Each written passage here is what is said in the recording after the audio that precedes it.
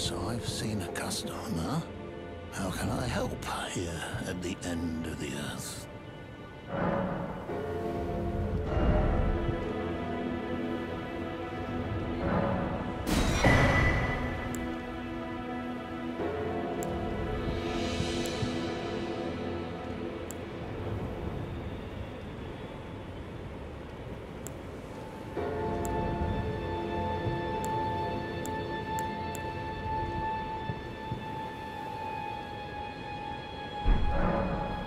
A safe journey.